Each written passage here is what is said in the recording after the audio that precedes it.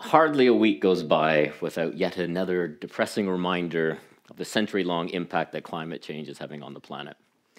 And we see this in many different ways through the overall global warming profile of Earth, through to unprecedented droughts and heat waves and fires, the relentless deterioration of the polar ice sheets.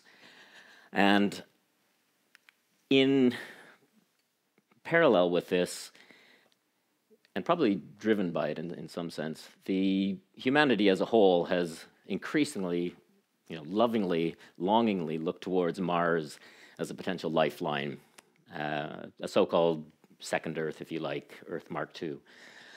And this has long been the, I don't know, if you like, the, the playground of science fiction authors, more recently, maybe entrepreneurial billionaires, and as time has gone by, scientists have embraced this idea and started to investigate some of the challenges that those potential colonists might face as they try to establish a base on Mars. And there are a lot of significant challenges. And the reality, looking at some of the results that have come back thus far, the reality is that Mars is a very harsh, barren, hostile environment that doesn't always mesh with the sort of this panacea that we may believe that Mars may offer in terms of a, a long term alternative habitat for humanity. And so, what I would like to do is take a step back, and you may think that that is a rather sobering introduction, in some sense it is, and just take a look at what some of those challenges are. What, what will those first colonists actually face in terms of setting up and establishing a long term community on Mars? And there is sort of a an elephant in the room that probably does need to be addressed first, and that's before you ever actually arrive at Mars. And that's simply the reality that one in 10 space missions fail.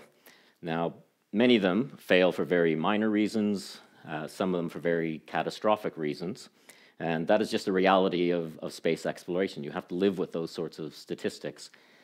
And to maybe put it into a context that might resonate with most of us, Imagine, say, showing up at a major airport, heading off on vacation with the family.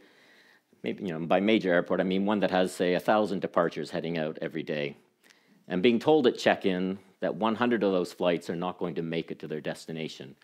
Some, again, for minor reasons, some for potentially catastrophic reasons. If you are like me, you're probably going to wrap your arms around the family and quickly do a runner.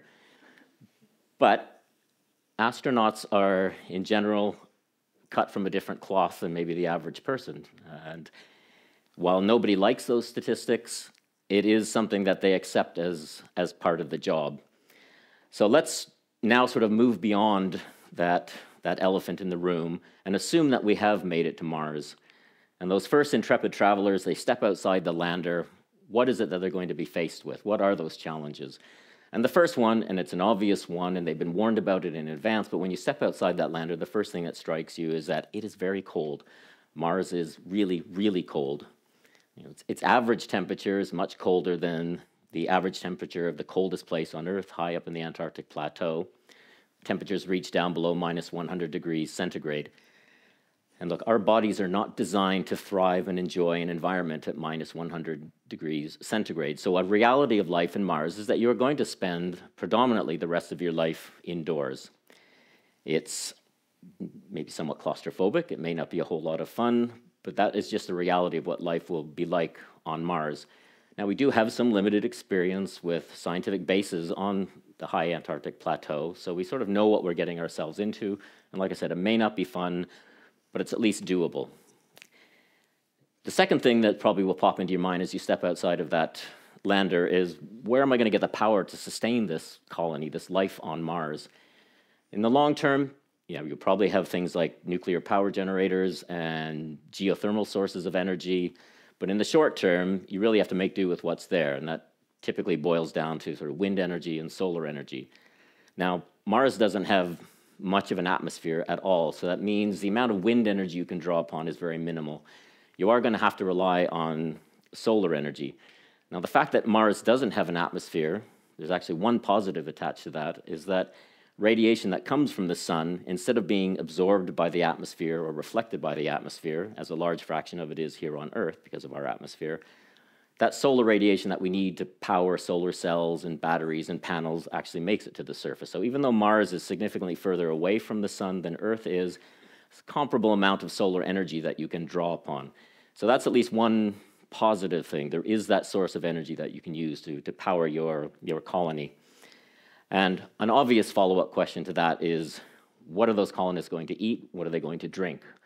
And the short answer to the question are there food sources and liquid water sources on Mars? Is no. For several generations, you will have to depend upon deliveries from Earth. And you can do it. You can take sort of the maximum capacity payloads that we can deliver now, and you could probably fill that with enough food to sustain 100 colonists for a year. It's fraught with danger. It's expensive, probably costs about a half a billion pounds to send enough food to sustain 100 people on Mars for a year. But again, it's doable.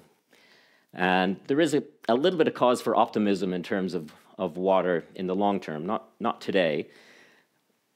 When we look at Earth, we know that there are subterranean water ice sheets. They're hard to identify from where we sit here on Earth, but once you get to the surface of Mars, there's some optimism that we'll be able to find these. Long term thinking is that you set up a big dome and you have microwave generators and you fire microwaves down into the soil that heats up the soil and liberates that ice into a form that will be useful to, to the colonists. Now, people are working on this technology now. We don't have this today, so maybe in a generation or two, those colonists will be able to extract that water ice into a form that they can use. But at least for the foreseeable future, again, probably a generation or two, you'll have to make do with water that's shipped from planet Earth. And more importantly, you have to set up an incredibly efficient water recycling system effectively 100% efficiency in the same way that the astronauts on the International Space Station have to deal with. They have effectively have a 100% efficient recycling system for their water. So we can do it, but those are sort of the challenges that you face. Long term, of course, you would hope to take advantage of the fact that Mars is covered in soil and you would like to be able to plant crops, do farming, and have a sustainable food source. The problem for right now and for the next few generations is that the soil on Mars is highly toxic. It's filled with something called perchlorates. And animal life, plant life, bacterial life really does not like perchlorates.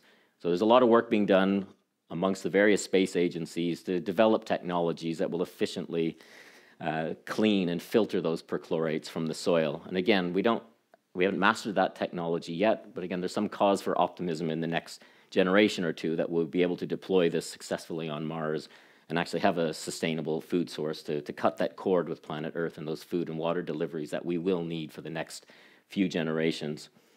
Um, there are two maybe more problematic issues to deal with, and I've alluded to one of them, the lack of an atmosphere, and what that, the consequent effect of that in terms of radiation levels at the Earth, at the, at the surface of Mars. Now, that lack of an atmosphere I, I, mentioned was a positive in terms of getting radiation that we need to power our solar cells and batteries and panels. The problem is that's kind of the good energy that makes it to the surface. Along with that good energy is nasty radiation that also filters right to the surface without anything to protect you. So that means the damaging radiation that will damage DNA also makes it unfiltered to the surface. And so the damaging radiation levels at the surface of Mars are about a thousand times higher than they are here on planet Earth. So what that means, that lack of an atmosphere and that lack of um, protection from radiation is twofold.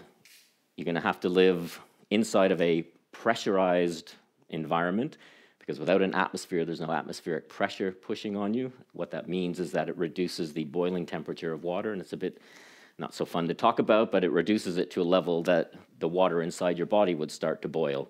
So if you are outside, you need to wear a pressurized suit to ensure you don't boil to death, which sounds very weird given the temperature. Uh, but it also means you're going to be spending most of your time indoors inside of a pressurized environment. And you're also going to be likely be deep underground or inside of structures that have meter thick steel walls to protect you from that damaging radiation. So yes, you do get the positive of having solar energy to power those cells, but you also got DNA damaging radiation a thousand times higher than our body is comfortable with, and no atmospheric pressure to protect you from boiling to death. The last physiological effect is the microgravity environment. The gravity on Mars is a lot lower than it is on, on Earth, and you also have that year long trip to get to Mars where you're in zero gravity. And this is a big unknown for us. We, we do know that at some level, microgravity environments are really bad for your cardiovascular system, your central nervous system. It has an impact on your ability to reproduce.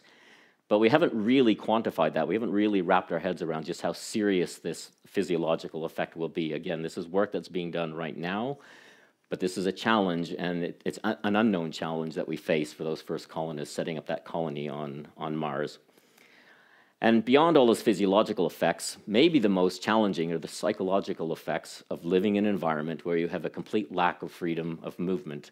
You will be confined, for the most part, indoors, climate controlled, pressurized controlled, deep underground, protecting you from, from radiation.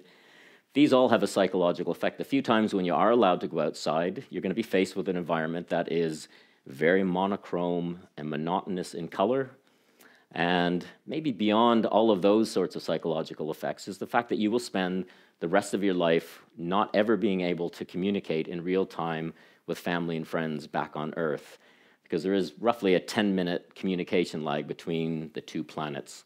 And so the only people you will be able to talk to, if you like, are the, your fellow colonists who are sitting there on, on Mars with you.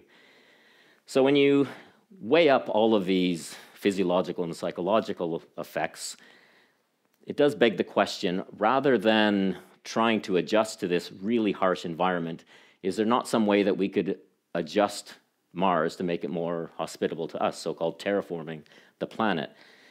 Now, the short answer to this is maybe. Uh, the polar regions of Mars are covered in ice, but it's carbon dioxide ice. And so, if we can develop the technology that allows us to heat up those poles, you can liberate that carbon dioxide and potentially drive sort of a runaway greenhouse effect and establish an atmosphere. If you want to think of it this way, you could think of it as a positive runaway greenhouse effect rather than maybe the negative connotation it has here on Earth. And that would alleviate some of the concerns and, and challenges associated with not having an atmosphere on, on, on Mars. It's not an atmosphere you can breathe, but it would protect you from radiation and would provide that atmospheric pressure that would allow you to you know, not boil away if you mistakenly don't have your suit on at any given time. It does beg the question about you know, the ethics of, of terraforming planets to suit us, but that's a topic for another day. And even the most optimistic of terraformers suggests you're looking at one to 2,000 years before we could even have the ability to do this. We don't have the technology to do this right now. So this is something we're looking you know, way downstream, many, many, many, many generations from now. So you can weigh up all of those physiological, so psychological effects, and it does beg the question: Is is is this the right approach? Is is Mars really this this panacea, this this second home for humanity? Um, to me, at, at first glance, no, it is not, and hopefully, it's given at least some pause for thought that it isn't quite as rosy as maybe it is painted in, in the media from, from certain directions. And I think what I want to do is leave you with just a few personal talking points, reflections on this, and I sort of boil it down to, to four very simple questions. Will we actually visit Mars? I think most definitely we will. I think there's too much vested interest from various governments and, again, entrepreneurial billionaires to suggest this is not going to happen in the next you know, 10, 20, 30 years. It, it, it's going to happen. We will put feet down on the soil of, of Mars uh, in, in the lifetime of maybe some of the, the younger people in, in the room and, and listening today. Can we actually col colonize Mars? Yeah, you probably could. I think you have to weigh up all of those challenges that I've just talked about and say, yeah, you probably could. It's not going to be a, a fun existence. You may be, again, living in a pressurized underground can, but you probably can eke out some sort of basic existence on Mars. Now, will we actually do it? I'm, I'm not so sure. I mean, humans as a whole, we are genetically predisposed to enjoy a temperate climate. This is not something that looks particularly inviting, so I'm not sure there's going to be a mass exodus to, to Mars. And should we actually colonize it is probably the, the, the biggest question. I have not yet seen a convincing argument that suggests to me that this is really a viable solution for the problems that we, that we face on Earth. We really need to step back, be a little bit more introverted, look at what it is that we are doing and what we're doing to planet Earth and what we can do to make this habitat be as, as positive going forward as we possibly can. And the way I like to think of this is look, our genetic DNA, we, we want to open doors, we want to break through, we want to see what's on the other side. But if you were to ask me, the door to colonizing Mars is one of those doors that should remain closed. Thank you.